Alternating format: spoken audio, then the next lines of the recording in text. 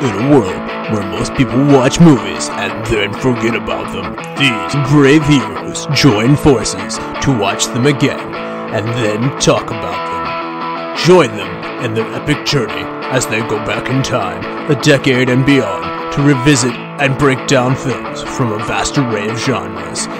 Do these movies hold up over time? Are they classics? Find out on Retro Movie Roundtable. Starring your hosts, Bryan Frye, Chad Robinson, Dustin Melbardis, Nathan Lutz, and Russell Guest. Coming now to headphones in your ears.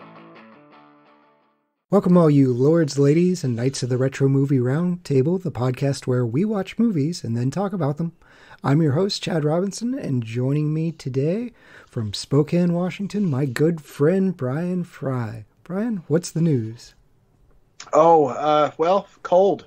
We went back to a, a, nice balmy four degrees today, which made walking the dog special. And uh, my daughter wants nothing to do, nothing else to do but to go out and play in it. And I'm like, you will freeze to death. Right, right. So that's uh, that's just kind of the, where we're at right now. I get the same thing. Can I go ride my bike? There's six inches of snow. No, you may not. Got to get her that fat tire, man. Yeah, I I am excited today, though. Do you know why I'm excited, Bryan? I think we probably have a pretty special guest. We do. We have a return guest, which is the best kind of guest. Featured previously on Working Girl. Joining us, Kathy Hoskinson. How are you doing, Kathy? I'm doing great, and I'm as I was before. Happy to be here in February. Nice, uh, good weather here in Phoenix, by the way, to talk about an 80s movie with my millennial buddies. Yeah, yeah. Humble brag there of good weather right now. Spokane to Phoenix and Pittsburgh to Phoenix. Yeah, not not doing so well, but yes, we are doing another 80s movie, coincidentally, with Joan Cusack in February. So I am fine with this being a tradition. But but just right. ju- ju- just to really key in this point, you are happier to be on this one than you were on the last one, right? right, because Bryan, you were not on the first one, and I was crushed. I was crushed. Yeah. So I just I just wanted to make sure that for the record, it's on tape. Happier to be here this time. Yes, Bryan's well, ego I, very fragile. I was told I was told this would be a Bryan episode, and I jumped right on it. there you go. There you go. All right. Thank so. You so we've got our warm up questions. We'll start with you, Kathy, since you're our guest. What's the last movie you saw? It doesn't have to be in the theaters, but just last movie in general. Well, I love what's happened with movies, and I mean, it's not good for the people making them because they don't make as much money. But I saw Nightmare Alley, which is still in the theaters, but it came out on HBO Max almost at the same time, a little bit delayed.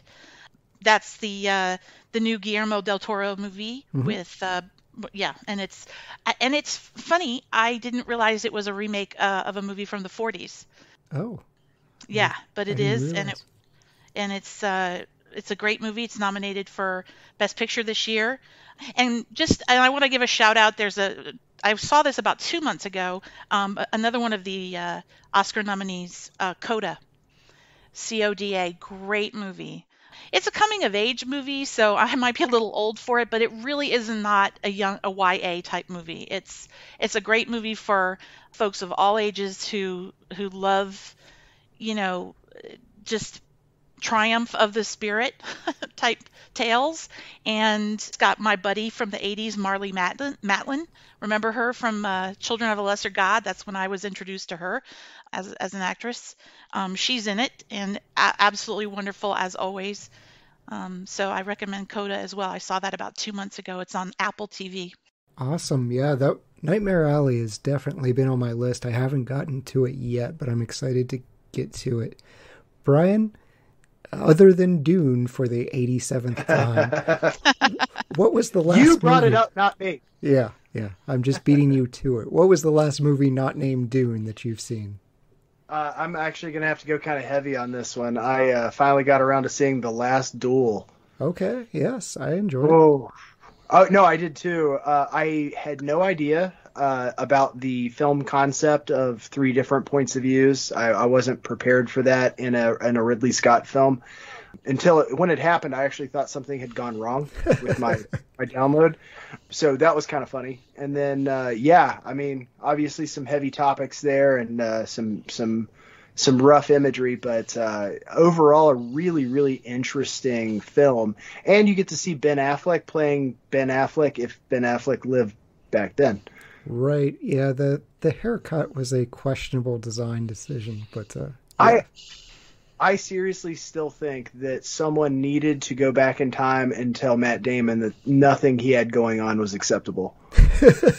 in, in, in, any like, it doesn't matter court, not court, wherever you're holding anything, that mullet is unacceptable. Yeah, the goatee too. Yeah, yep. I, I'm with you there. So I I too kind of hit up Oscar season. I saw The Power of the Dog getting a lot of nominations, and after seeing it, I don't I don't get it. So I'm gonna be that guy. I I watched it. I was like, eh, Benedict Cumberbatch. This will be cool. Yeah, it it didn't it didn't work. It didn't go down well for me. But I think it's got something like 12 Oscar nominations, so I still recommend giving it a shot. It's free on Netflix. We're going to get into our next question. Kathy, what's a broadcast story that you most remember? Because we're going to be talking a lot about broadcast. Well, I mean, you know, huh, I, am going to be stuck if I can't say something like, you know, 9 11. I wish I could come up with memorable broadcasts that, that weren't significant. I mean, obviously, in recent uh, memory, I was you know, I worked from home and I, you know, last year on the 6th of January, you know, I had the TV on. I was working, but I had the TV on because I thought, oh, something's going to go down. Let's right. let's check this out.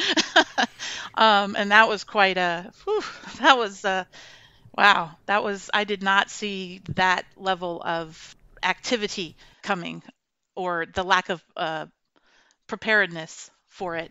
Um, so that that was a memorable broadcast in terms of news, anyway. Yeah, yeah, absolutely tragic, unfortunate, everything you could you could say about it. Uh, Bryan, how about you for broadcast stories? I do not visually consume news sources. This this probably comes uh, back at some point uh, to my my days in J school. But uh, yeah, I typically read the news. Uh, I have a hard time I have a hard time with broadcast. yeah. But anyway, uh, I, I mean, I, I think it's got to be 9/11 just in terms of the fact that was the hallmark of, uh, you know, that was our Cuban Missile Crisis. That was our, you know, it was a thing that we were were hanging on to. We got pulled out of class for it, that sort of thing. Yeah. So I, I mean, I feel like that's got to be it because that is the first thing that comes to mind. But I mean, there's been you know various things. I mean, heck, I was like first person with their phone out of their pocket when you know Putin hit Ukraine yesterday. So, anyway, I mean, it, it, you can take your pick, but in terms of broadcast, I would say that that is the number one most televised piece that I was fairly glued to. See, we went to the same high school, but my teacher for 9 11 said, math goes on. Right. Yeah. Actually, actually, mine did too. I, I was in art class and yeah. she said, "I don't care what's happening on the TV. You can watch it after you're done here." Yeah. So uh, that, that doesn't surprise me, knowing your art teacher. Yes. Yeah. Right. Right. right. She's awful. So, so for me, it this is going to be one of my young youngest memories in kindergarten. I can remember the Gulf War being broadcast, which is a weird thing to do for kindergartners, but our teacher, I don't know if she was just kind of absentee or what, one of the few things I remember from kindergarten was the Gulf War broadcast. And so that was kind of my introduction to we can kill each other as an option. And that was probably way too early of an age to be exposed to that, but that's what our teacher chose to do. I watch coverage, so that's that's what stuck with me. Well, yeah, and now uh, bringing it back to the 80s, just and I'm dating myself here. Um, I I remember the Shuttle, uh, sorry, the Challenger explosion. I said oh. Shuttle for some reason. Oh. Um, live. Yeah. I saw it live because we were all watching the launch. Um, yeah. Um, because there was, I mean, we had a civilian on board.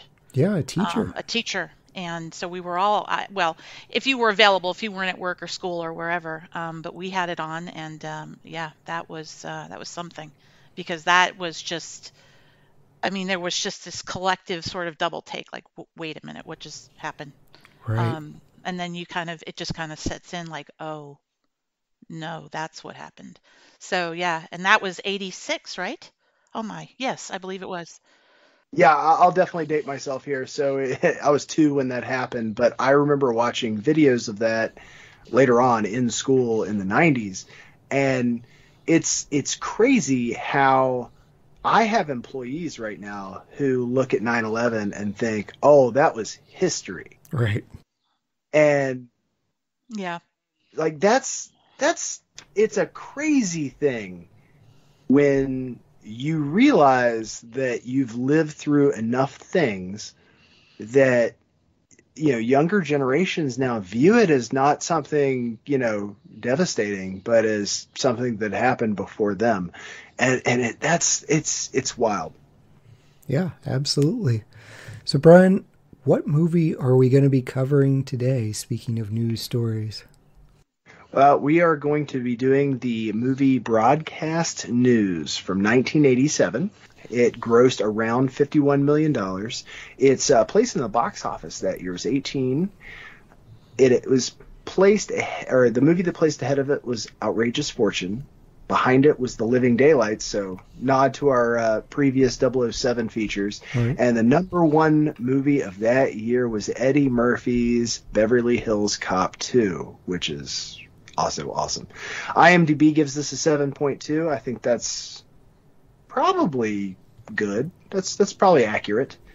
And uh, uh, Rotten Tomatoes gave it a 98% with an audience score of 79. So obviously the critics liked it better than the audience. Yeah, still great scores though. I mean, uh, yeah, yeah. I mean, none of this is is uh, damning in any way, but it, it's interesting to me. Uh, I see one way or the other happening so often where you know critics are giving this like rave reviews and i wonder sometimes if they're scared to give something that's getting attention a bad review i i do i i wonder if they have the same analytics that go through my head like i watch something and i'm like oh man i hate this movie this is going to clean up well, I think maybe today, yeah, maybe today they, they don't want to be contrarian, but certainly back in the day, I mean, I can I just and you know I bring the stats, right? Yeah. I'm an analyst. Uh, Chad understands. Yes. Um, but you know, it it was it came. In fact, I had I remembered seeing the trailer, and I yeah, I'm a big big James Brooks fan anyway. Um, and I wanted to see it in the theater, but it just it was in limited release, and then even after it went wide release, just to give a comparison, Beverly Hills Cop made about 150. I'm just talking about uh, domestic box office. They made about 150 million over maybe 2,400 theaters in wide release.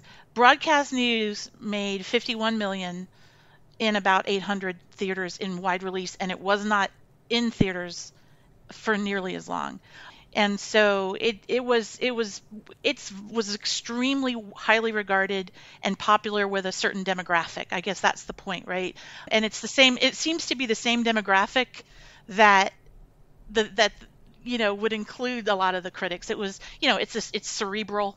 There's there's satire. There's you know um, a lot of jokes that people there you know it's not uh, not laugh out loud. Well i mean it is laugh out loud funny but it's not uh, for some people. So i think that it did well it did extremely well with that demographic. Yeah so this you mentioned funny this lines up on afi's 100 years 100 best comedies at number 64 and this this is something that I continually push back. There are funny moments in this movie, but I would never put it in best comedies. It's only because they don't know where to put this. This this is another one of those instances where a movie outlies where popular genre identification lives, and because of that, it just lives someplace where people think it shouldn't.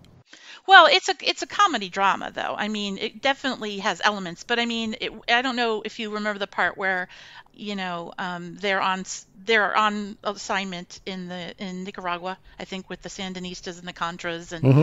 you know they're they're they're literally capturing live warfare. And um, Albert Brooks' character said, "What did he say? Something to to the effect of." After it was all said and done, and they were like, "Okay, did you, you know, did you get the shot? Did we get it? Was there enough light?"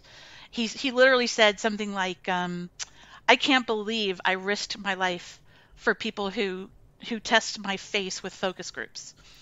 Um, so stuff like that. That's to me. That's laugh out loud. That's hysterically funny. That that is a huge joke, and there that kind of humor is all over the place in there. So I think it just depends on where your where your humor tastes lie. Oh, yeah. Um, yeah. Yeah, it's definitely something for everybody. This one cleans up on a, awards. It's nominated for seven Academy Awards. It's nominated for five Golden Globes and it is included in the 1001 movies you must see before you die. So, well, that alone right there precludes it from being in the uh, comedy category. The 1001 Well, yeah. and you know it's funny we were talking a moment about you know a moment ago about ridley scott and why that you know the type of movie that he would would make would not make it uh, you know win best picture perhaps i don't i mean it should. I would think we all agree, right? Alien Alien was nominated though. I have Gladiator to say. one. Yep. Yeah. Yeah, oh, that's right. Yes, yes, yes, yes, yes. You can tell this is not my demographic, so I'm a little I'm a little bit Ridley is a huge like I'm a huge Ridley fan, but he's a whiner. So don't like you you won't offend me at all by saying anything about him because he deserves most of it. yeah, but this year, like 1987 was just insane for movies. And The Last Emperor won. And not because it was a particularly compelling story, but because just it was so beautifully shot. It was an epic. So the epic of that year won. But we're talking about the same year where we had Wall Street, right? Mm-hmm. We had um, oh gosh, Moonstruck. Everybody loved Moonstruck. Broadcast News. I think didn't we have um, Vietnam movie with Robin Williams? Holy crap! uh, Good Morning Vietnam. Yeah, I mean, I think they were all the same year, and so it, it had a lot of competition, a lot of really quality movies, and of course, like I said, Last Emperor won, which you know, okay, the Academy went in a different direction, I think, on that one. Yeah, yeah, and so so going into this movie, Kathy, this was one of your short list movies, and sometimes our guests will throw us curveballs and they have not seen this movie before. But I, I'm getting the sense: have you seen broadcast news before? And if you have, what what was it like when you first saw it, and what's it like returning to it now? Well, so I was, you know, back in the 80s when the trailer came out, I wanted to see the movie in, in, theaters, but I missed it. And of course, I had to, you know, wait for it to come out on, okay, don't don't panic. I'm going to say a term you might not be familiar with, VHS. Oh yes. I'm joking. I know you guys know what it is, but I had 240 of those bastards, and I still hold on to three or four of them just out of posterity. Yeah. yeah. there's a box in my house that's got probably about 50 of them, but um, so I had to, I did have to wait to rent it. So, but I, I wanted to see it because this is this was a movie that was right up my alley, and Holly Hunter was this was the this was sort of the mainstream Holly Hunter, but if you're a Coen Brothers fan, right? Mm-hmm. She was in Raising Arizona earlier that year, so folks were starting to to get to know who who she was, and um, so I was very interested in seeing it, and uh, and it didn't disappoint at all. In fact, I was it was better than I thought it would be. By the way, just as on as an aside, James Brooks terms of endearment was and i kid you not i'm talking about i I saw like Bambi and didn't cry. Terms of Endearment is the first movie that made me cr- like actual cry.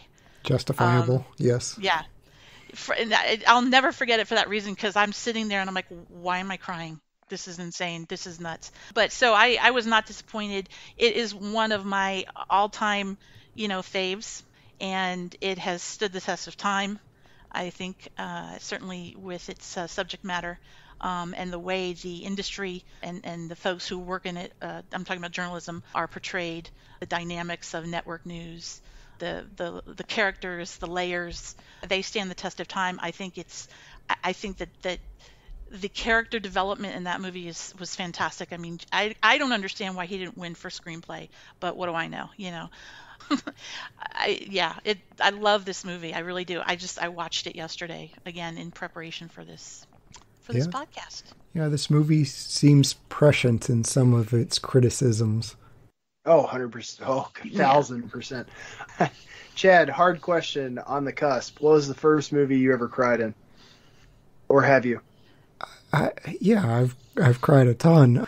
I I don't remember the first one, but I, I can remember the one that's banned on my list. Actually, there's several. The Fox and the Hound being the absolute earliest one. I cannot watch that. It's just the we'll always be friends. It's like, no, you won't. You will not be friends. You will just attempt to not murder each other. That that oh. movie. Uh, Toy Story three is also on the ban list. I cannot do the furnace with the toys. I, that's that's I, I have I have a blacklist of movies I outwardly refuse to see because I've heard tale of them being like you know hit you in the feels. Uh, Up is on that list. Oh. The Notebook is on that list. Like I, I I have outwardly refused to it. Jess actually gave me an ultimatum for Valentine's Day. She said I will be on your podcast, but you have to watch The Notebook. And I was like, okay, sorry. Oh no. Yeah. Like that's... just just just I look, I watch movies for entertainment. I do not watch movies to, you know, pra- practice Pilates of emotional well-being. Like that's not what I do. Like just watches This Is Us, and I'm like, okay, I'm going to be in the kitchen doing anything else than this. So it, it's just one of those things. But the one that uh, that completely ambushed me and Jess looked at me like for for you guys listening, Jess is my wife. We went to see Big Fish mm. in theaters. Yep. And the end of that movie made me cry so bad. And she's looking at me like I'm an alien. She's like, "This, this is what gets you." And I was just like, "Oh my god, it was all true." So. so anyway, I was just curious, like you know, it you get you get nailed with some things uh, out of left field sometimes. So I was kind of curious what what gets you guys. The Notebook gets you at the end. The problem with Up is it gets you in like the first 15 minutes so you're crying right off the bat and it's just i like, just i have no interest in that like i have no interest in that like level of like, i don't want to feel the, the world the, no, the world sucks right now. I don't need extra. I don't right. need extra. So it's All right. great. All right, but had you seen broadcast news? Was this is this a story that makes you cry? No, I was actually really excited about this because I'm a huge newsroom fan. Yes, um, was good. I don't, so, any, yeah, I was I was really amped up to see this because I'm also a big William Hurt fan, and I was like, all right, how did I miss this? How did how did four and a half years of journalism school not at least ring someone ring a bell and say, "Hey, have you seen broadcast news?" I feel like this is a a huge ball drop for me. So as soon as this came up in casual conversation, I volunteered as tribute. Yeah. That is surprising, actually. That in all of your years of journalism school, they didn't. Somebody didn't just say, you know, watch broadcast news, even if it's not in class. I'm like Bryan. I I had not only not seen this movie, I had not heard of it. I'm a Jeff Daniels newsroom. That was a that was a very enjoyable program. I I enjoyed that series quite a bit. So that was kind of the expectation I brought into broadcast news. And you know, Russell was kind of tainting the water because he texts me and says, "Hey, just to warn you, this is not a comedy. It's building correctly. It's more like Sideways. And if you l- listen to the podcast in the past, That's Sideways wrong. is.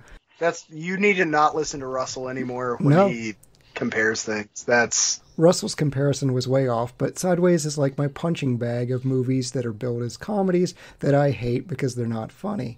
Um, this it had funny moments, but I was pre warned of eh, it's not really a comedy. It's more like a dramedy so yes. he got that. Just you know, don't associate with Sideways. I I think it's eh, it's more deserving than than that movie. But if you like Sideways, good for you.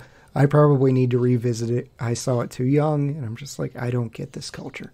So this is a movie I'm, I'm glad I saw in my 30s. I think had I gotten to it earlier, I wouldn't have been mature enough to handle some of the subjects and to appreciate it. So I really appreciated it this time, and I I had a good time with the movie. It's got romance, comedy, drama, and criticism of the real world. So yeah, all of this satire works for me. So I'm excited to talk about it.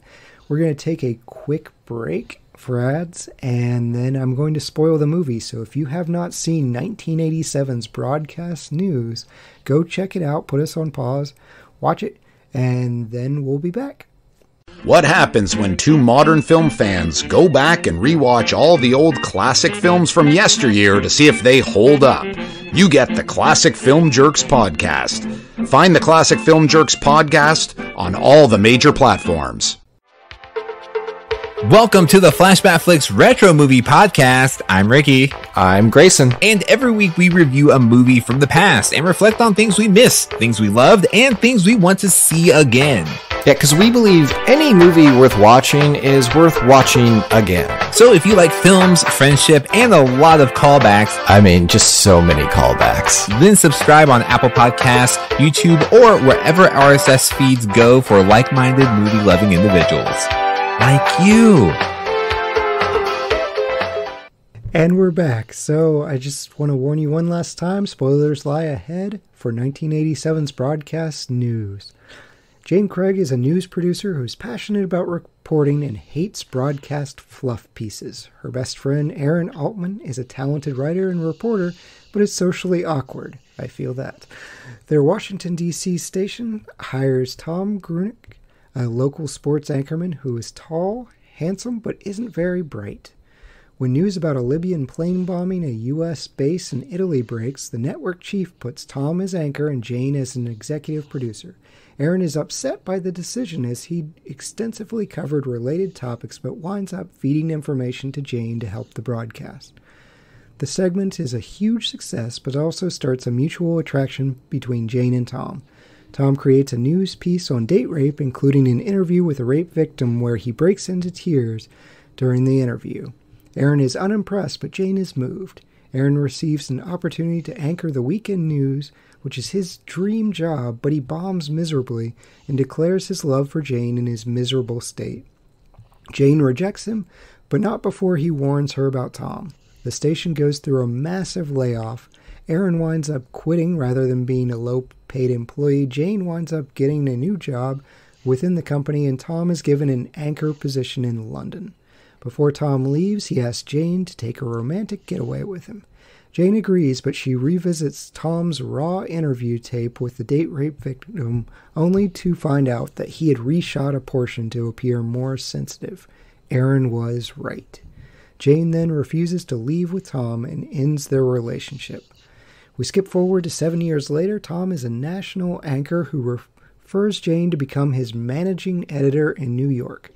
She declines a dinner interview invitation with Tom and his new fiance, but does catch up with Aaron, who now has a wife and child of his own. So, short plot summary, but we really this is a dense movie. There's there's a lot there's of a lot to unpack. It. Yep. Yeah. yeah, there's and there's such great depth of character. I mean, I just there is not one, you know, one-dimensional character in this entire movie and the way you understand the way James Brooks allows you to understand the characters is is just brilliantly done. I mean, even just something as subtle as I mean, obviously by the time we get to this point in the movie, we know Aaron. I mean, for all his gifts, why is he so insecure? I, I wondered about that. I mean, you know, yes, he's not as he's not as handsome as William Hurt, right?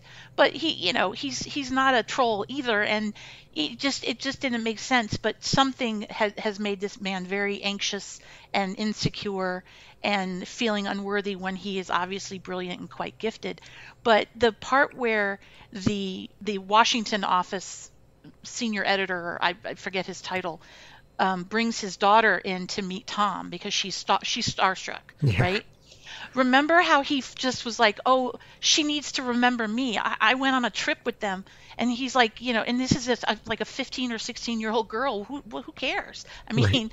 you know, and he's just, it's like he's almost begging for her to want to remember meeting him and and give him attention the way she's giving attention to, to Tom who's like a star to her it, it was that that to me just the, the the depth of what that meant for for Aaron's character and, and how insecure he was. Um, I, I thought a lot about Aaron because I'm a big Albert Brooks fan. So yeah, and I just it, amazing. I could go on with many many scenes that that are so that do do so much with so so little dialogue. You're right. Even when we're first introduced, so this movie starts off in 1963, and it's kind of giving us these comedic introductions to all the characters. So we have Tom's character, and he's like, "What can you do when you're just good looking?" And then it flashes in future network anchorman. But for Aaron, he's graduating high school at 15 and he's taking shots at his classmates of basically, hey, you guys were jerks to me. And even as he's getting beaten up, he's telling the bullies, you're only going to make $19,000. So yeah. he seems to have in no filter. He's got an inability to shut his mouth when it would behoove him to do so. Yeah, and it's anger too, isn't it? It's yeah, anger. Absolutely underlying. I absolutely love his character. Like his his character is exact. Like it, at no point in time do I regret his decisions, outside of the fact that I think there it, it comes with some self awareness that right. when you are good behind a typewriter does not equate to behind a camera. Right. When you are good in the field, it does not equate to good in the newsroom and there's no shame in that. Yeah. Uh, the, the only shame in that is that they do not get paid the same. Right. That is right. that that was my biggest issue with this was, dude, you do you. Like you've got songwriters all over the country writing hits for people who do nothing but put their face on albums.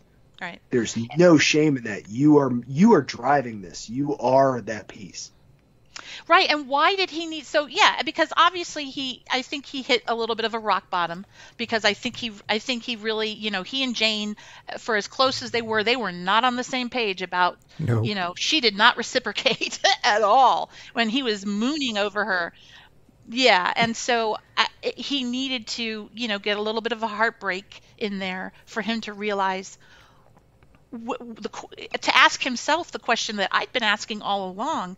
You're brilliant. You're, you know, you're you're a nice looking guy. I mean, why aren't you confident and happy and having a date that you want with a with a woman that you like and and doing your best work? And he kind of had that epiphany at the end after hitting a bit of a rock bottom, and and he said, you know, why can't I just be happy doing what what it, what it is I do extremely well? Why am I so worried about pleasing or or getting people to respect me that you know that don't respect me for for what I've already delivered. Um, and I thought that was a great evolution for his character. Yeah, it was interesting. I was talking to Russell and I said, This is a movie. Typically, when you present characters like this, we have three main characters that we cover, and it's Aaron, it's Tom, and it's Jane. When you present characters as unlikable, I guess, because Aaron, his qualities, he is petty, he is mm-hmm. jealous, and he's kind of a bad friend. In the end, his advice works out, but he's he's sabotaging Jane a little bit in in her potential happiness before he really asked the question, "Hey, how many camera crews were were with you, Tom? How many how many were in the shot?" But even prior to that, he's actively trying to sabotage other people's happiness because he's just he's petty and jealous. So usually I have this problem in Tarantino movies or to a much lesser artistic extent Rob Zombie movies where none of the, none of the characters are like who am I rooting for? So yeah, he's, none of you. yeah. exactly. Yeah. Yeah. But I I think just showing these these flawed people like he still his advice in the end when he's telling Jane, "Oh yeah, and Tom's the devil," it it winds up being right. But yeah, he's he recognizes it's not good for you, but he just he's got that social awkwardness where he's not able to put it all together, I guess, and and hopefully out in Portland, you know, he he got it together. He clearly met met a woman and uh, he has a kid now, and he seems good with his kid. So I I hope Portland mellowed him. I think he got one of the happier endings. Yeah, well, Portland is he, you know, Portland mellowed him, but also I think that that anger because you're right he you know these are complicated people it's not as much as you know because even tom i mean we'll talk about tom i don't think he was even the villain really and i love that devil quote by the way but um and that devil quote actually i still use that to this day and i'll, I'll tell you why but in a minute. But I, yeah i think that he he did bad things or he said he said mean things right? Um because he had an underlying he had an insecurity that made him like you said petty and angry. I have no idea. It must have had, probably happened in his upbringing, maybe because he went to school and was the smartest kid, and this was before nerds. It was cool to be a nerd, right? And so all the jocks beat him up. Maybe that was the origin of that. But I, right?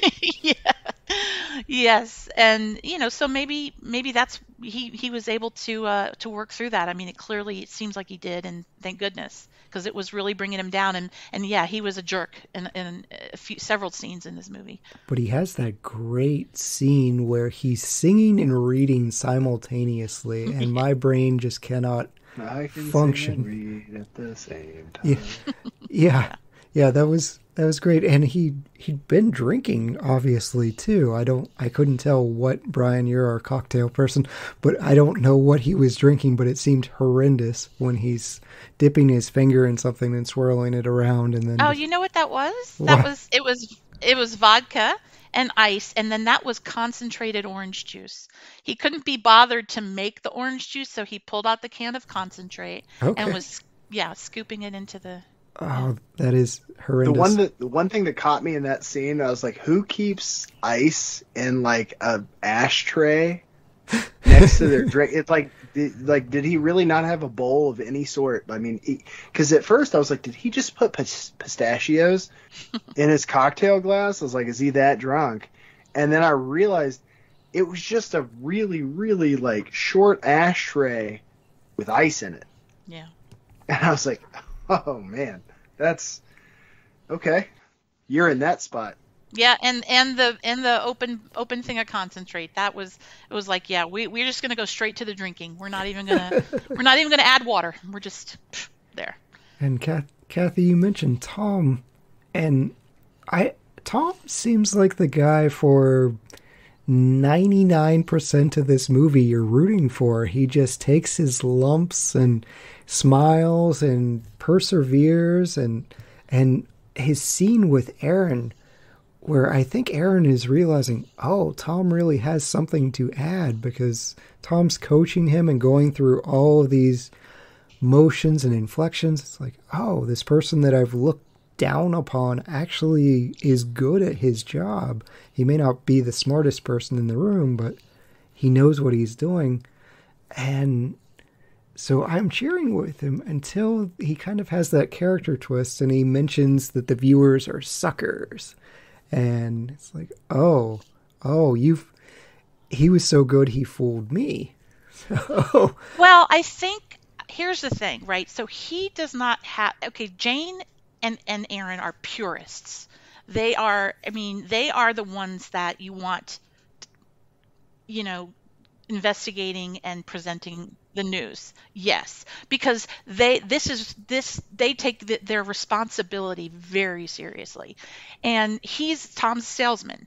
But the good what, what we like about tom or me i'm look i'm talking for everybody but what i really liked about tom and what i think a lot of the audience would also appreciate about him is that he he knows his limitations and he has a very i think good understanding of what a lot of people in the business took a little bit longer to figure out, which is people, for whatever reason, right? People want their news delivered a certain way and they want certain news delivered to them at certain times and you can be the best journalist in the world but you know you you you're not going to be the person who's going to be successful you know on the seven o'clock nightly, nightly news for some reason and he understands okay, I'm contributing because for whatever reason, maybe it's my face, probably it's my face. Mm-hmm. People people if if I'm the one doing the talking, people will listen and he didn't want to be the one influencing what was said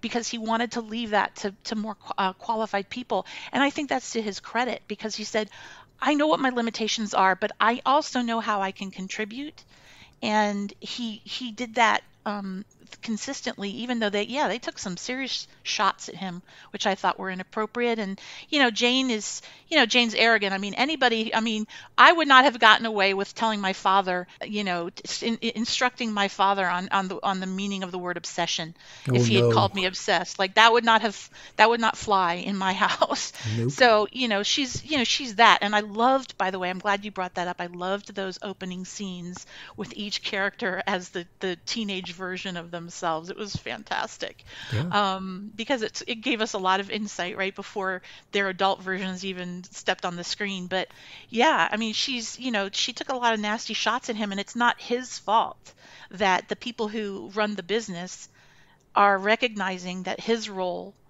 is important too, right? Yeah, Tom, he reminded me, and they actually referenced the sweating of Richard Nixon for Aaron. Yeah. But it it reminded me, and uh, it may be intentional, it may not be, but one of the things we studied in my media and communications was the Nixon Kennedy debate, mm, because yeah. this was the first broadcast debate. And it was interesting because they took different polls, and the polls for the people that listened on the radio said Nixon won hand, hands down. But the people that watched the debate on TV saw a very handsome John Kennedy, and they saw a very sweaty, shifty Richard Nixon. And everyone that watched on TV said, Kennedy won that very easily. And so we see this shift away into, oh, what you look like matters. What you yep. sound like matters. How you stand, how you carry yourself, right or wrong, matters. And I I thought it was an interesting illusion that they brought up Nixon for Aaron uh, and his sweating, and you know he may have been more qualified with intelligence or his writing or whatever else, but he couldn't put that handsome face and that inflection and and do it all with his intelligence. He couldn't do the same things that Tom was doing. Yeah, that joke was was in, intentional. I have no doubt that James Brooks meant for all of that association to be made when he inserted that joke. I mean, that's just the brilliance of his uh, of his writing in this particular screenplay. Um, because yeah, that's exactly right. And I mean, I, I I would imagine Bryan, you probably this probably came up in in in journalism school. Just how how the televised debates between Kennedy and Nixon just changed everything, changed the whole landscape of politics for for folks in these really high level national positions. Uh, well, 100%. Anytime you can put a video camera on the person who's telling you what you're supposed to be, you know, understanding is going to be a, a huge piece. And one of the things that this this movie really like struck a chord with me with was there were people trying to say something back in the 80s about how we were watching, how we were consuming media, and and this was really important. I mean, this was this was something that that I didn't get to to even have a, a boxing glove on until the mid 2000s, and you know we're talking 20 years later at this point. So one of the things I really really loved about this movie was watching Holly Hunter and watching Albert Brooks like stick to their guns and I loved that about this movie.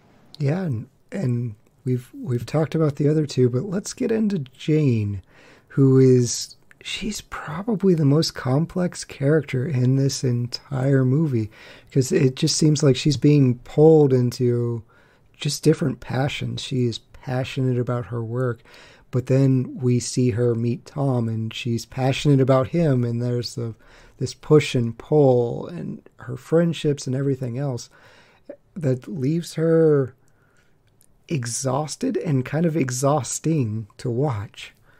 So let's yeah. What first time seeing Jane and has your opinion evolved on on Jane and Holly Hunter's performance, Kathy?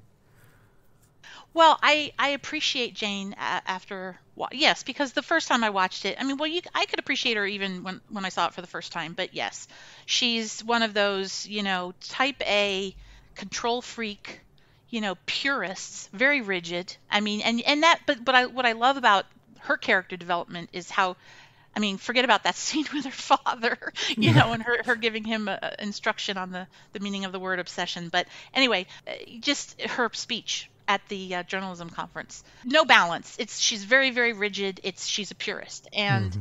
it was annoying. She's one of those and but I liked seeing her she her attraction to Tom took her out of her comfort zone. And it was brilliant because there she was very condescending to him and made no secret and almost seemed a little bit happy to tell anybody who'll listen how she didn't respect him because of you know because of his background. But you know she she came to you know i think her attraction influenced her to to appreciate him for what he was and what he was contributing. And i think that that scene at the end where she and by the way i don't think i don't think that was an, an, intentionally bad act on his part. I think he was genuinely concerned about, or not sorry, not concerned, but confused about what you are allowed to do when they're when they're uh, taping cutaways, right? Because they do tape cutaways. Mm-hmm. This we know, and so I think he was genuinely like, well, they tape cutaways, so why can't I? Why can't I have tears in them? Why is that bad? But I think that it was it was interesting when she finally saw that after Aaron told her to go check the tapes out how it it sort of jolted her out of her her you know little crush she had. But yeah but i appreciated and now that i'm older and i can watch her i appreciate her even more. And i appreciate the fact that aaron was a little bit of like a sleaze to her. I don't i don't agree with you know i mean look people experience unrequited attraction or unrequited affection and it the responsibility lies with them man or woman to you know you're in the friend zone and you can't force somebody to like you and you need to lay off and i think that she did not lead him on now that i'm older and i watched that movie with you know uh, many decades of being a, a woman out in the world I, I think she was kind kinder to aaron than i would have been because he was kind of a jerk yeah. the way he pursued her and was you know, it's like she doesn't want you, dude. Move on. It's it's fine. Not everybody's, you know, not everybody is for everybody else. It's fine. so, yeah, I really I really loved her her whole character evolution. Yeah, she's in an interesting world. They even have a scene with her that she's just sandwiched in between two businessmen sitting on the couch and they never really make a big deal out of it, but it's it's obvious that it's there that she is the sole female authority in this just male dominated world. So she's she's trying to earn her respect and be the she gets promoted to be the first uh, female director and and other things throughout the movie but there are all these all these male interactions that she has to deal with as well and thankfully there's no never the one character that just talks down to her in a sexist manner, but I, am sure there there was some because she would destroy him. Well, yeah, she. Yeah, yeah. The the thing I love about her character, and this is something that Emily Mortimer did so well in the newsroom, mm-hmm. is this is this is the piece of broadcast news that I love the most. Is like if you get a producer who is not in front of the camera, willing to stick to actual like journalism chops, like that is you're striking gold. Like that's that's what I loved about this movie was you literally have a person willing to, you know, battle Satan over telling the correct story. And yeah, that's that's what I agreed with the most what you know where the, the, it's weird for me to try to go into a relationship standpoint for this movie because I actually don't like either of the main male characters that much. Like obviously Aaron's piece has merit, but he's also horrible. and Tom's piece is as vapid as Tom's piece is, like regardless of what his off-screen personality is. And that is the thing about broadcast. You have an on screen personality, you have an off screen personality. You have the nice guy that you can date and be your husband and have kids with, but then he's going to go on screen and have something else. So there's a lot going on here, and it's one of those things for her. I'm glad she chose neither. This is one of the few movies you'll ever get where nobody gets the girl and i'm like i don't know who you actually married in the long run if you did but good for him because neither of these guys were worth her. They actually shot an alternative though where tom gets in the cab with her. And there it was supposed to be a surprise. She wouldn't know. And somebody right before they were getting ready to roll said hey bill and she knew that uh, william hurt was on the set, so it ruined it. She said she had an out of body experience, and everybody thought, eh, this doesn't work. It it wasn't just right. So it's interesting that they considered having that change of heart. I also like that neither of them got the girl because I feel like it made it more about the point about the news than yeah. about the rom com. Yeah. Yeah, exactly. About her and also and I mean James Brooks, I think he in an interview or a couple of interviews said that he had he he'd gone with her getting with both of them. Like I mean that he had fl- fleshed out that uh, those scenarios and decided to to to keep it like you said about her being in her job. But I do think though that it was a valuable experience for her to be attracted to Tom. He wasn't obviously the right person for her by any stretch of the imagination, but it was a valuable experience for her, wouldn't you say? Yeah, it. She almost had to go through like a schoolgirl phase. The way she talks to him on the phone, even how she says hi again with this big smile on her face, very puppy love like, but she gets petty with Jennifer. She sends her to Alaska. So right. I I I agree. I think there was a lot a lot of personal growth, and I think they all wound up with their own passions. So her passion was for the news, and she winds up. Tom recognizes it and says, "You would be the best editor that I could get," and I think that would be super awkward to work together again. But you know, hopefully it, it works out in this story. Aaron finds his happiness in Portland and Tom finds a fiance. We don't really get to spend much time with his fiance, but you know, he's getting the anchor job and so everyone's really they're satisfied with their passions and they don't need each other as far right. as this love triangle. What struck me with this and Bryan brought up the newsroom as well. A big part of the newsroom is how the news is presented. And a big part of the scandal is we got it wrong. That's not happening here but what we're seeing here are Aaron refers to it as just like a slow degradation. It's uh, small steps. And we start with just fill. They they tell Tom to fill for they're waiting on I I don't remember what I think it was the Navy captain or someone yeah, in the military. Pilot, yeah. yeah, to speak. And Tom interjects with I think we'll all be okay. And we get the lovely pushback from Ernie, who's old school, and he just says, Who asked you? Right. and, exactly. Yeah, and they're purists. They're purists in that way, aren't they? Yeah. Nobody nobody wants a, a, a real journalist doesn't give opinion, right? And they're purists in that way.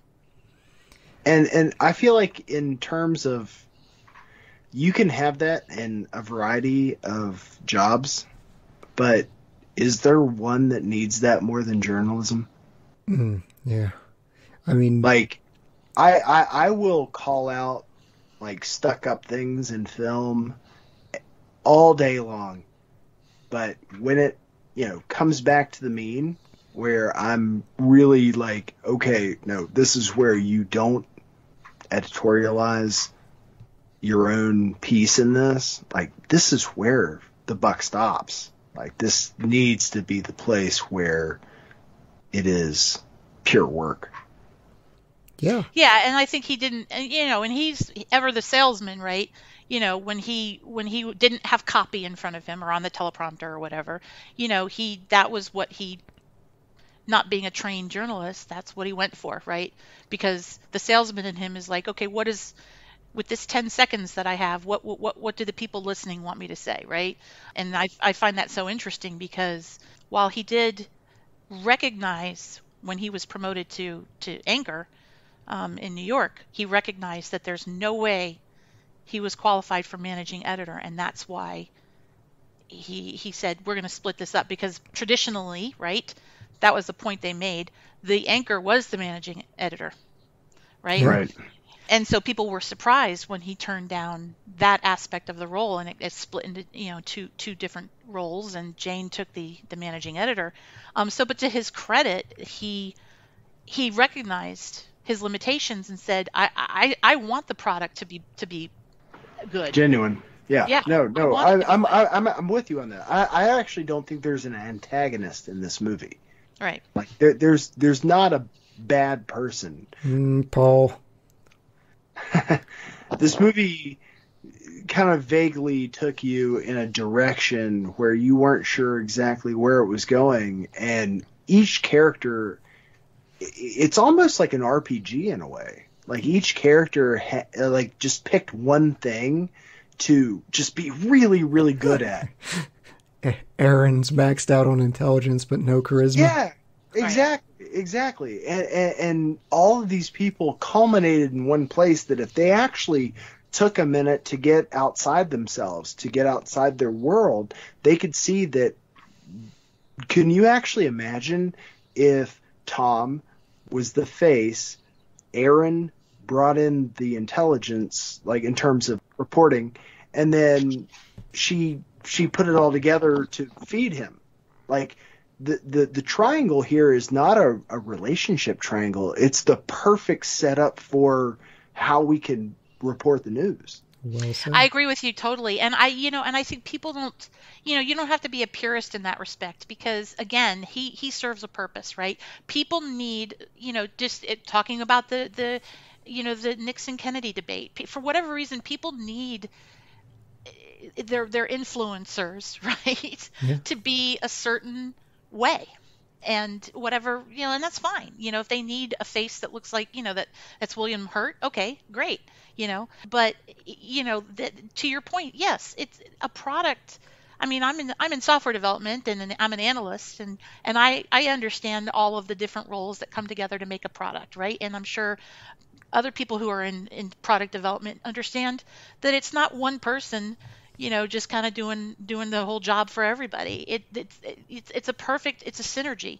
And i think it's appropriate because, and i don't think that it's fooling anybody. I don't think that they're you know some people might argue the purists might argue well you know it's a it's a facade. But it isn't though. Why is it a facade you know?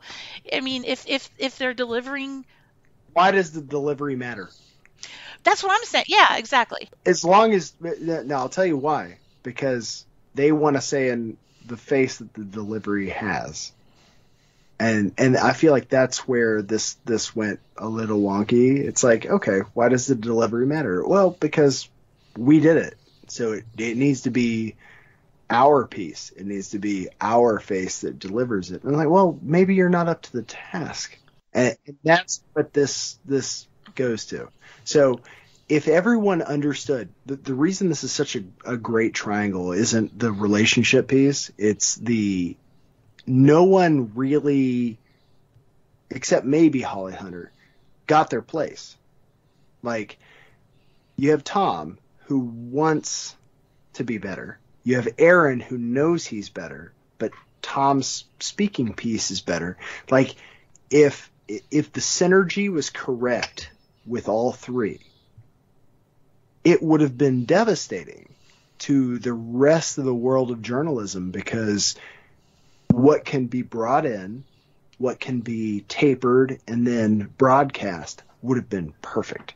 Yeah, yeah. I, those scenes where they're all collaborating, collaborating are just electric. It's yeah it's fun seeing them all play off each other, but it's interesting here. The criticisms they they seem small compared to the things that we've seen, I couldn't help but think of Brian Williams. You know, my my head goes, and there are plenty of other people.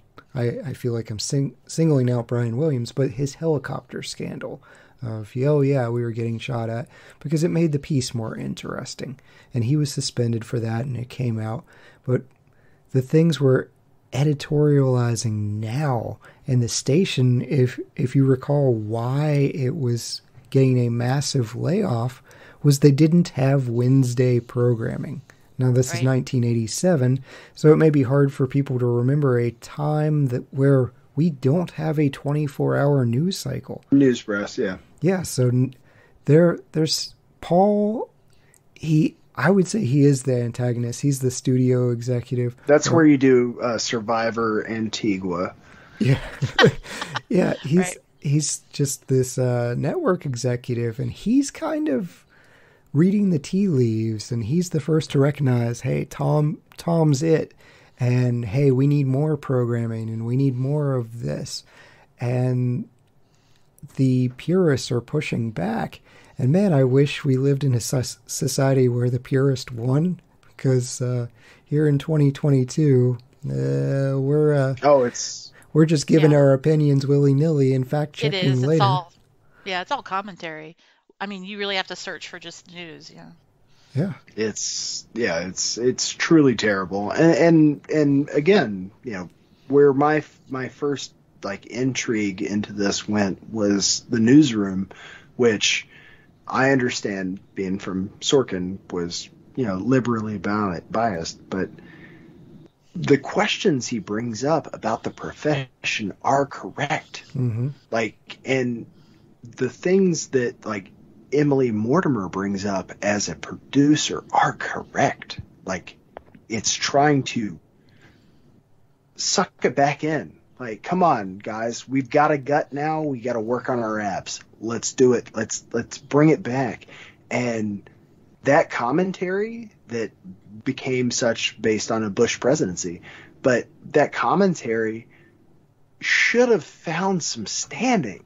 Like, you know what I mean? Like some footing to say let's take journalism back and i'm telling you like outside of a couple little spots this is a rough neighborhood these days yeah eh, well because you have two you have two things that are a problem right back in the day when he made that comment about you know all these layoffs are because they you know the entertainment division didn't know how to program wednesday nights or whatever right? So it was it was like the, the newspaper that comment about how the newspaper style section and all of the advertising that goes into this newspaper style section literally pays everybody's salary. And and in the network news world right back in the day because network what is network news anyway anymore? Um, but back in the day you know all the networks tried to program their entertainment so that they could get all the advertisers and all the money so that they didn't have to worry about sales right when it came to delivering the news Right. They could just deliver. I mean, obviously they still needed the the handsome face and the and the face that people trust and blah blah blah. You know that that part is the sale. The selling of the news has always been, I think, as long as there has been visual media, right? You need a face. I mean, it's like if I'm standing, you know, if you if you and I are standing face to face, and I've got a piece of spinach stuck in my tooth I, I could be saying the most brilliant thing you've ever heard in your life, and you're not going to hear half of it because it's like, dude, you have spinach in your teeth, right? So it's always been the need for the person, the face that people feel comfortable with delivering the news has always been there. But now, you know, we don't have the situation where the news division is being paid for by successful entertainment division uh, revenues, and so now the news divisions are even more, for, you know, forced to to to worry about revenue and clicks and. Mm-hmm. I often wonder if people even really consider ethical journalism anymore. No. Right. Well, we've we've we've had uh, uh, uh, proof of that today with BuzzFeed about the death of Queen Elizabeth being completely fake. So. Whoops. Right. Oh, I didn't even hear that. Yeah. Oh yeah, yeah. BuzzFeed posted that um, uh, Queen Elizabeth died, and then he backtracked like, "When have I been wrong?" Long live the queen. Long live the queen. Yeah. So it's yep. the world we live in now. She's a big fan of the podcast, so you know. Uh, get well soon. We'll have to tweet her later. Yes. Let her know she's she's featured. Yes. Get Long live the queen. get well soon, your Maj- your Majesty. But uh, yeah, you- we talk about faces you trust, and I do want to mention uh, there were some alternative castings here. Uh, Jane's part was written for Debra Winger, but uh, she was pregnant with her son Noah Hutton, and so Holly Hunter was cast. Sigourney Weaver, Elizabeth Perkins, Catherine O'Hara, they all were considered or auditioned. But Faces We Trust, we've got Jack Nicholson as the anchor here. He's like the big time paid anchor. And I've seen a lot of Jack Nicholson movies, and maybe that's just biased me and conditioned me, me to say, I don't trust you for one single minute. He's got that good look, though. I, Yeah. I'm telling you, if you're gonna satire how broadcast journalists look on screen and then try to put a, a sinister slant on it, how are you not going to use Jack Nicholson there? I, like, I agree. just yeah. oh yeah, Yeah. this is exactly what. I think that was. I, I I would venture to say that that was James. I think James considered that. Yeah, yeah, yeah. Um, yeah. Yeah, and, and James Brooks, we've talked a lot about him. He's our director. His big movie, Terms of Endearment, talked about that a little bit, followed by broadcast news. He's got As Good as It Gets, Spanglish, How Do You Know? He's a writer and producer, actually a writer for the Simpsons movie. Uh, I have not seen his later things with Playdate with Destiny, but yeah, what or Kathy, you mentioned Terms of Endearment was big for you, but are his works you mentioned mary tyler moore and, and rhoda was he involved i'm not seeing Oh my. God, that's those were his shows. Yeah. Okay. So he so he was like for 70s TV.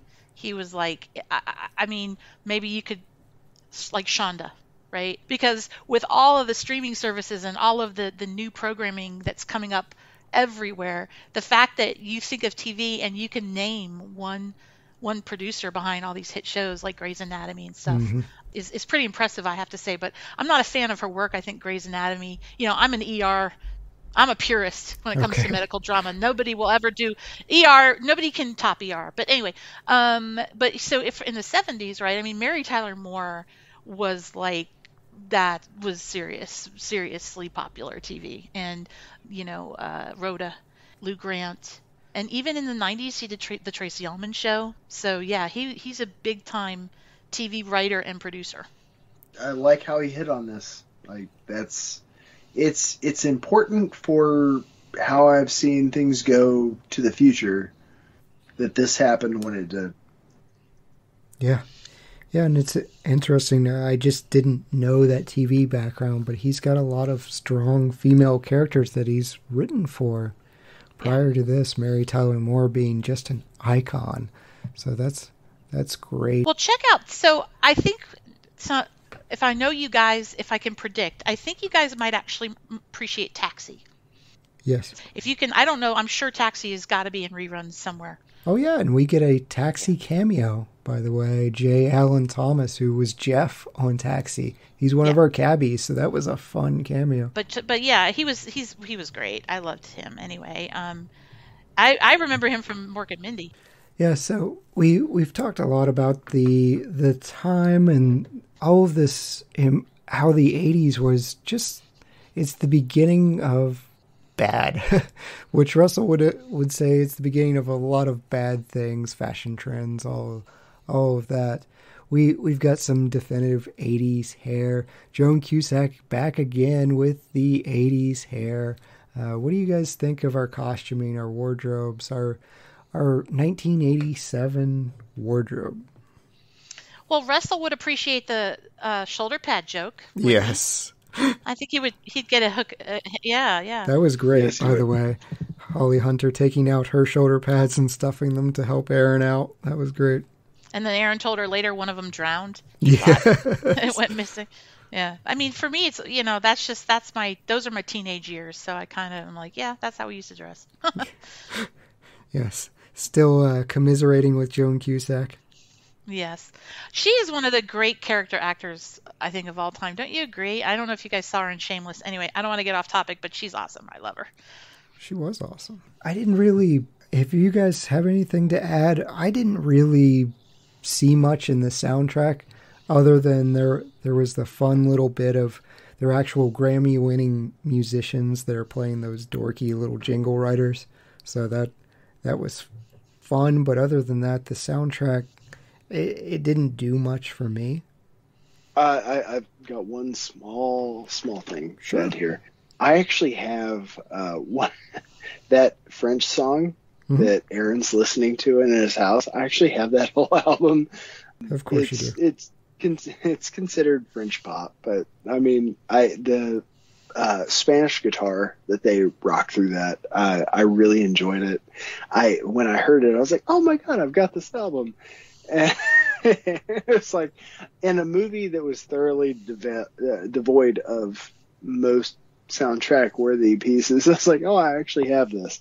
So anyway, the guy's name's Francis Cabal or Cabral, and I'm really I love that song and his work. Yeah, I I love how they also closed. They closed it out in the credit. It it was in the credits too. Yeah. I did not watch the full credits. Shame on you. Pardon, pardon. Shame on you. Shame on you. You can redeem yourselves because we are going to get into our movie superlatives. It's my favorite part of the show. So, Kathy, our MVP for Broadcast News 1987 director, actor, supporting actor, who do you have? Ah, gosh, I mean, uh, it it's got to be Jane or Aaron. I mean, I, I got to go with Aaron just because Albert Brooks and like I liked his evolution. I liked how, what a what a petty little shite he was. Yay. yeah, I mean, so obviously I don't like those qualities in an actual person that I know, but I, I thought it was uh, I thought his character had a lot of depth and uh, I appreciated it. Excellent. Bryan? I think I want to go with Holly Hunter on this. I was just like, this is this is who you want running your new show. Mm-hmm. Like that's that's the bottom line of this. Uh, the same thing that I brought up earlier about Emily Mortimer. Like this is it's not just about young pale brunettes that I find incredibly attractive. It is about the news and who is running your news show. And she could have butchered that Georgian accent, so props to her for getting that at least believable. She was closer than Clarice. Yeah. Yeah, I I wish I had picked William Hurt. I I would like to just so we could have that triangle to, here, but I went with James Brooks. I just felt there were too many good pieces and when there are a lot of good pieces, I tend to credit the director here. I think the story's really compelling and it just kept me invested throughout. Yeah, I think in fact that that he wrote the screenplay. Actually, you know, I I, I almost want to change my answer just because. Yeah, I mean this was his this was his story for real, and he gave it a great life. Yes. Best supporting actor or actress, Kathy? Uh, I gotta go with Joan. I Mhm. mean, and the way just her whole like her whole sort of like like bohemian bohemian style, and but this like intense, like that whole scene where she's carrying the tape to the uh, uh, Where she's the bro- the the broadcast room. Hurdling what- kids, yes. Yes, yeah. I mean, she's awesome, and then she was doing it in her little with her crazy hair and her big flowy dress. You know, she's she's her physical comedy is fantastic. She's awesome. I, I think she, I, I I've seen. I don't think I've missed too much of what she's done in her whole career. I would support casting her whenever there is a cubicle. I don't know what it is, but in office setting, she is just magic. Bryan, who, who do you have? I actually with William Hurt on this. Okay. Um, the thing that we get into sometimes is about characters you like versus don't like. William Hurt did a phenomenal job being exactly the character they needed him to be. He entered being the deficient person who was not credibly, you know, able to do the position.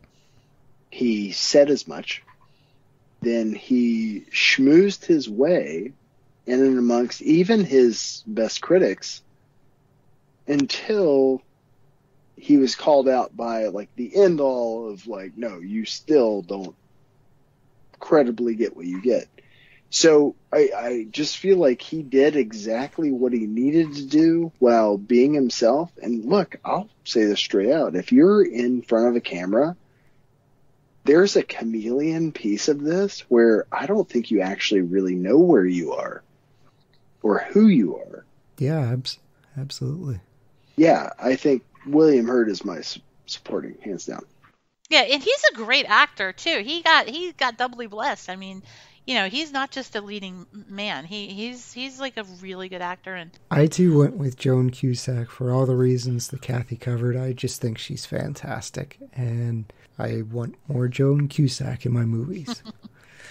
for our hidden gem, our underappreciated minor caster element, Kathy, we'll go with you. I'm going to go really really deep. Okay, I forget his character. I should remember. I mean, I, I, can picture him, but remember when they were doing layoffs and William Hurt's character was waiting outside mm-hmm. um, to get his news. He didn't realize he was getting good news, and the one of the staff, one of the newsroom, I think he was one of the reporters, um, field reporters.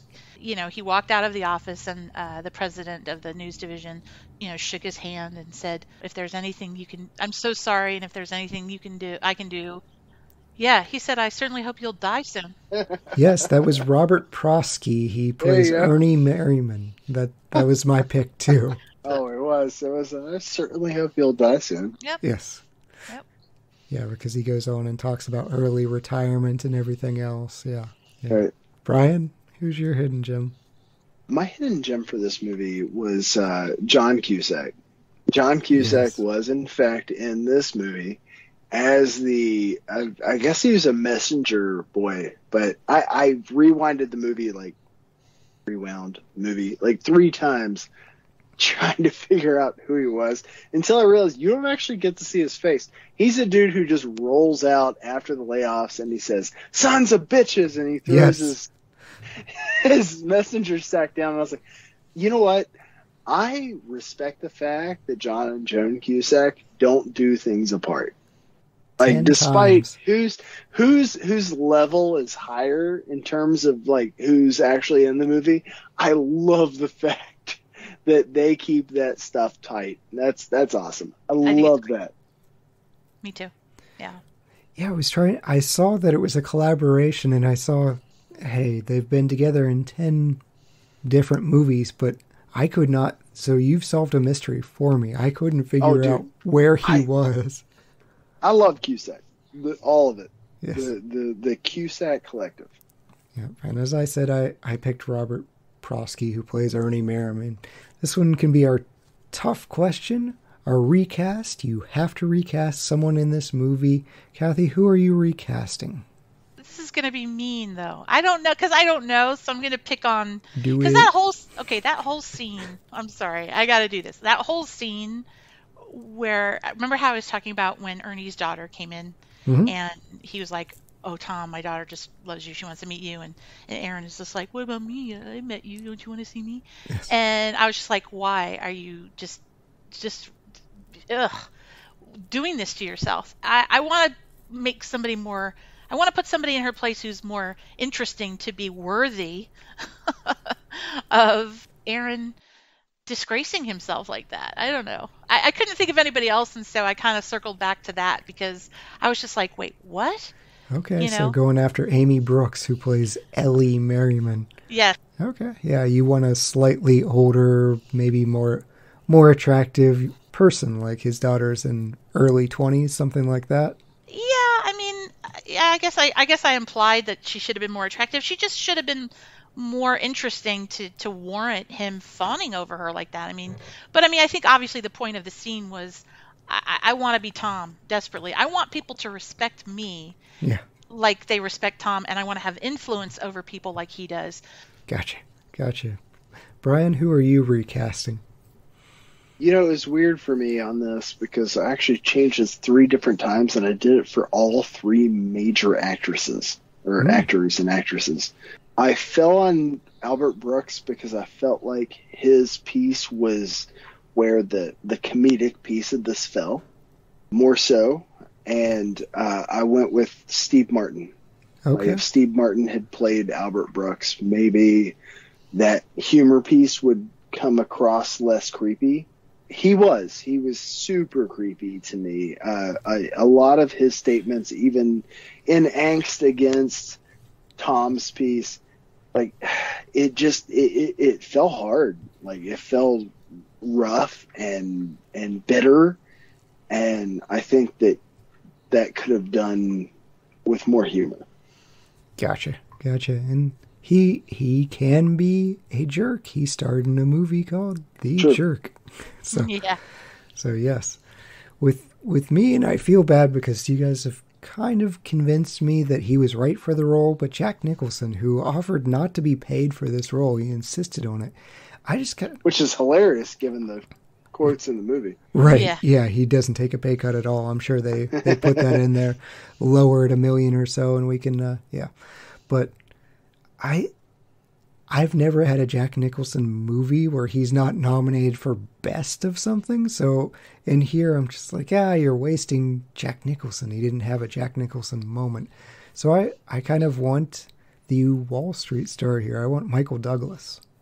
I think he could have come in and commanded that good look, but at the same time, yeah, I'm not I'm not compromising my salary or anything. Yeah, I, I, I could. I mean, I, I loved Nicholson in it, but yeah, I could get I could get down with Michael Douglas. He was busy with Wall Street that year, I guess. Yes. yes, he was very was busy, a- but Big year for him. he can double dip. It's a small role. Yeah, yeah. So best shot. Kathy? I mean, okay, uh, most impactful, perhaps. Going to be a couple that land on Jane's face because Holly Hunter, props to her, great acting in this. Just the the sheer, just like jolt that she experienced when she realized that he that Tom had, you know, worked up tears for that the the, the cutaways. Yeah, that Yeah. was. I mean, it's it's a small scene, but it's just it really it really brings her full circle. You're right. That facial acting said so much that that, that was fantastic work on her part. Bryan, what's your best shot? No, my best shot is the look down on the newsroom. One of my favorite things in the world is the actual idea that the news is produced and shown for the people. And that shot from the the basic uh, producer's room down, that's awesome. Like Yeah. I, I, I got to walk through one of those one time, and I understand that that's a weird thing to just fixate on, but there was a time where we did this the right way, and to see where people did it the right way was really impactful to me. Yeah. And yeah, so that was my favorite shot. It's a sacred yeah, like having stage. the control room up up at, up higher than the stage. Yeah, Yeah, yeah. Yeah, awesome, awesome choice. With me, it's it's a little bit more simple of a scene, but during Tom's interview with the rape victim, even though it winds up being fake, I think the shot with him crying, you know, that that was what wound up being called moving. It was what got all the office workers, other than Aaron. Aaron's just like, yeah, whatever. But that was a shot where I wrote down immediately, oh, oh, that's good. That's that's a good cut. But, you know, I was deceived too, so I'm gonna throw it in there because it deceived me. Right. It had layers. Yes. yes. If you fool me, you win. So best scene, Kathy? when Jane and Aaron found out what the assignments were, and Ernie said, "Don't look at me." You know, uh, the the pres the president of the news division was in town. He he made the assignments. He was at Ernie's house for the party. He said, "I I had nothing to do with this. He overruled me." And she took him outside, and she said, "We need Aaron for the job that we're capable of." And he said, "Great. I, I appreciate your opinion. I just don't agree with you." And she mm-hmm. said, "But you're, you're wrong. It's not opinion. It's fact." And he said to her, "It must be so difficult for you to really believe that you're always right." And that people who agree with you are just automatically wrong. That your assessment of everything is is the only correct one. He said it must you know it must be great, and she said no, it's just, it makes me miserable. Yeah. Um, that that exchange was did so much for us to understand her character. Yeah, that's powerful. hundred percent. And I, I will also say that outside of the guy from Law and Order in the newsroom, she would be correct. Right. Bryan, what was your best scene? I really enjoyed the uh, Joan Cusack getting the tape to the broadcast room. Mhm. Like the the like I've had so many of those days where I'm like, can anything else get between me and my goal? Like seriously, like come on world, can you give me one more thing? I just need one more thing in between me and that, and, it, and it'll fail. So I, I'd say that. That was actually mine as well. So I, I do have a backup. The the first scene where Tom gets his uh, anchor position, where he gets to have Jane in his ear talking to him, and he just comes out and he's like, "That was electric. It was like really great sex." And the, she's on the chair, and he's basically on top Banging of her. like with the chair. Like, Yeah, it- he's like, yeah, It, it's it's a I've- little awkward. Yeah. I've had to take several mandatory trainings in my field that says do not do that, but you know, the, the the scene is just electric, and they're both just exploring this new attraction and this chemistry, and it. I really enjoyed that scene just to see them act like teenagers. They were so happy about it. Best wardrobe and makeup moment. Again, I wish Russell were joining us because he would just say none of it. Bryan? I actually love Holly Hunter's wardrobe and all this because she's the one person. Actually, I'd say she's one of two people in this thing that just had her stuff unlocked the entire time. And the wonderful thing about people away from the camera is no one cares. And she rocks that no one cares so well.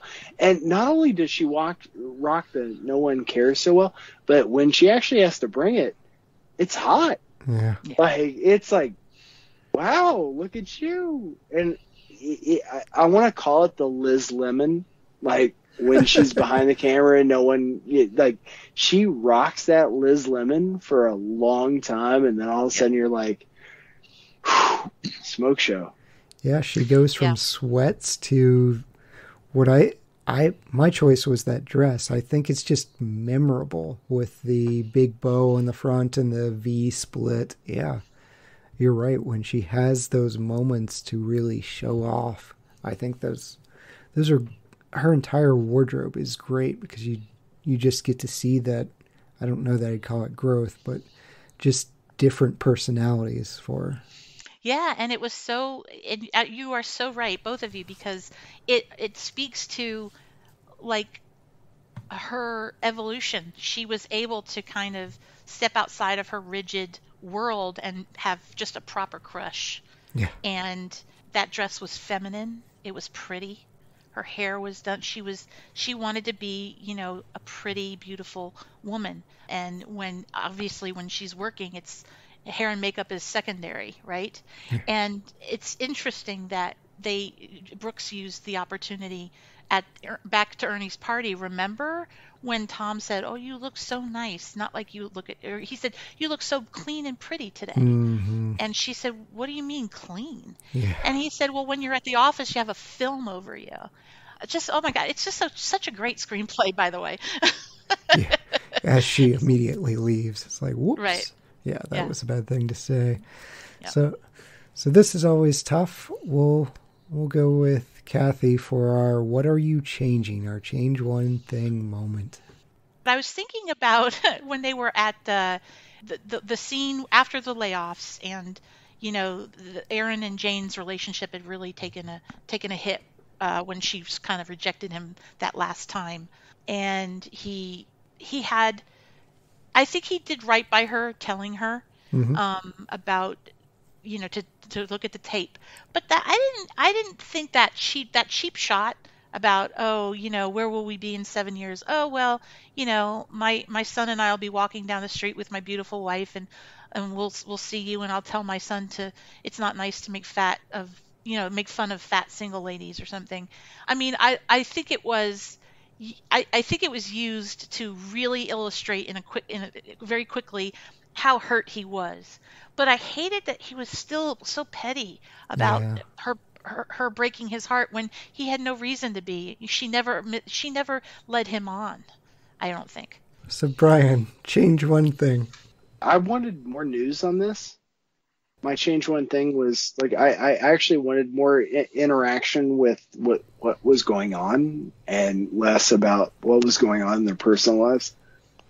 Those are the most exciting scenes, so yeah, I definitely get that.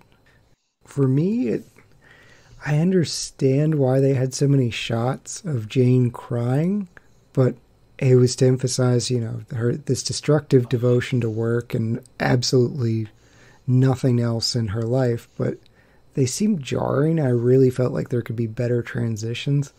The the one that bothered me the most was her just bawling on the docks. It just didn't make sense. So I I'm to cut that cuz they they made her obnoxious a couple too many times and I felt like that one was the one that I just it, it seemed less provoked. So less crying. Gotcha. Yeah. Well, she made. I think she made time in, in every day. She she made some crying time, um, every, uh, in every day for her. That makes for her sense. release. Yeah, no one else walking into that newsroom while she's bawling her eyes out even checks. So they're just like, "Yep, it's Tuesday." So Yep. I was also a little upset that she had like some just regular newsroom desk while basically everybody she worked with had a real office. all right, well, Like she was like gangland doing this, and I'm like, really? yeah, yep, no, uh, no closed door for you. Our there were a lot of great quotes, and actually some of the quotes made it into best of all time. But Kathy, what is your best quote? The devil quote. He's the devil, and and she said, "No, what are you talking about? How do you, what do you think the devil's going to look like? You think he's going to be scary?" I, I I even I have been using some variation of this quote since I since I saw the movie. In fact, I even gave my son when my son was very small. I said, "Don't just because somebody looks trustworthy." I, you know, this is I'm paraphrasing, but I I tried to explain what we, we used to call human monsters was our sort of version of the the boogeyman speech. Just because someone looks nice doesn't mean they are hmm because they want they want you to think they're nice so that's why they they're invested in looking nice and that's that's when the devil comes to take us all right he's going to be he's going to be in the form of some you know social media influencer Yeah, something. the devil appears as an angel of light. right i mean if you yeah we're going old school quotes now but yeah that i loved that that whole quote and i wish i could have done it better justice i, I should have written it down but Bryan, what's yours? I'll give you that one. Uh, I know you care about him. I've never seen you like this about anyone. So please don't take it wrong when I tell you that I believe that Tom, while a very nice guy, is the devil. so anyway, that's for you. Now, my best quote is, uh, "Well, I certainly hope you'll die soon." Yes. ah, dude, that's the best. It's like, oh, thank you for firing me. I really hope you f- off really hardcore later. Yes, Yes. thank you for I know that edit. gets no. Uh, sorry, I know I knew that was going to get censored, but I, I mean that's that's just the best. It's like, oh, I know I've done my job very very well for you, and now you're axing me because you know pretty people take precedence. Thank you. Yes. Have a nice. Yep. And old guy and old ways. Yeah, absolutely. I mine I've got a backup quote because I had the devil quote as well. The flash over sub- substance just a tiny bit. I I did think oh that was great, but Aaron's quote when he's just floundering at the end, he's like, "At least twenty-two people dead. I wish I were one of them." It's like I I feel that in my soul. right Yeah. now now it's time, and this for two of us this is a brand new movie. But Kathy, we're gonna do our ratings and recommendations. Zero to five stars, half star inc- increments, unless you're Bryan. What are you giving broadcast news? Oh, it's a five star movie in my opinion. And by the way, uh, trivia it made I think every single top ten list like that existed in 1987. It was on it. Yes. Yeah. Yeah. Yeah, it nailed it. Right, five stars. Bryan, how are you following this up on your first time viewing? I really enjoyed this. This is a four star rating for me. I'm right there with you. I really, really enjoyed it. The only thing that kept this from being a five star movie is I kind of didn't like the seven year jump at the end. And it, it just felt a. I don't know what would solve it for me, but I just was a little unsatisfied. So I went with a four and a half. But I I really enjoyed this movie and I went in almost a little bit fearful. So great, great marks. I think it it's got room to grow. So thank you so much, Kathy, for introducing this to us. And thank you for inviting me. I just love talking about movies and especially with you guys. Yeah, awesome. Appreciate it. Well, speaking of movies we're going to talk about, Bryan, do you want to help me pick a movie for next time? Always and forever. So our Oscar season continues. With option one, we're going with Network 1976. A television network cynically exploits a deranged former anchor's ravings and revelations about the news media for its own profit, but finds that his message may be difficult to control. Option two, Fatal Attraction from 1987. A married man's one night stand comes back to haunt him when that lover begins to stalk him and his family. Or option three, Gosford Park from 2001. Set in the 1930s, this movie brings a group of pretentious rich and famous together for a weekend of relaxation at a hunting resort. But when a murder occurs, each one of these interesting characters becomes a suspect. I mean, I've got to go Fatal Attraction. I mean, that's. Gotta talk about that. Not categorized as a horror movie, but I am campaigning for it to be a horror movie. Exactly. That's uh, basically what we've been talking about for this one. We're gonna mirror it over to this. All right. Once again, thank you, th- thank you, thank you for rejoining us in February for our Joan Cusack movies. Kathy, really appreciated it. Thank you, all the lords, ladies, and knights of the Retro Movie Roundtable.